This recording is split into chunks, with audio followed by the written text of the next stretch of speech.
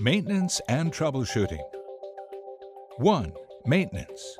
Please refer to the lubrication and maintenance tables in the IOM manual for maintenance procedures and frequency. 2. Troubleshooting.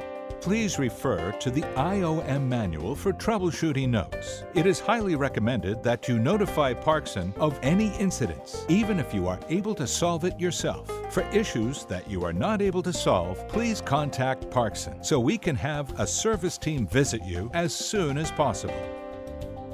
Parkson Contact